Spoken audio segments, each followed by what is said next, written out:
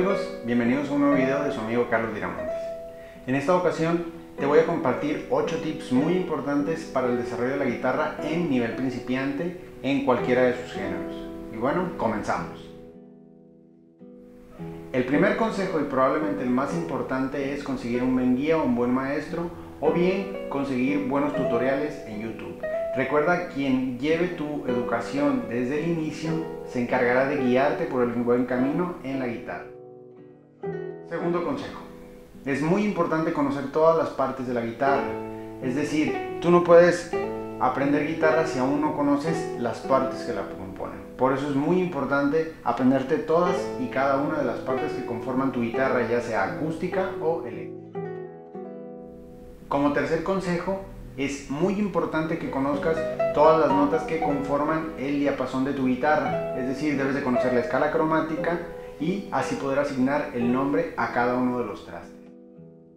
Como cuarto consejo, es muy importante la teoría básica, por eso te recomiendo que aprendas a formar escalas y acordes desde su estructura, es decir, la estructura de la escala mayor, la escala menor, los acordes mayores y menores quinto consejo te recomiendo que aprendas solfeo, es decir, que aprendas a leer y descifrar el pentagrama.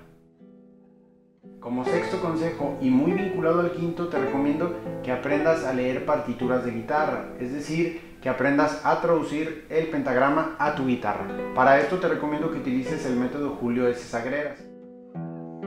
Y bueno, ya que cumpliste estos seis pasos, ahora sí, comenzamos con la parte fuerte del instrumento que va a ser el desarrollo técnico.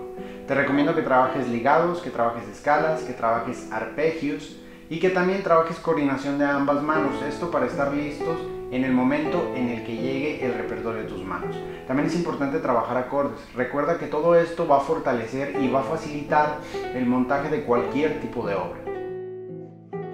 Como último consejo y muy vinculado al primero, en contuberlo con tu maestro, Selecciona una obra que esté de acuerdo a tu nivel y al momento en el que estás en la guitarra. Si bien sabemos que los principiantes muchas veces no saben hacia dónde ir, no saben qué practicar, bueno, estos ocho pasos probablemente te van a ayudar a seguir un buen camino y poder tener un desarrollo más rápido en el instrumento.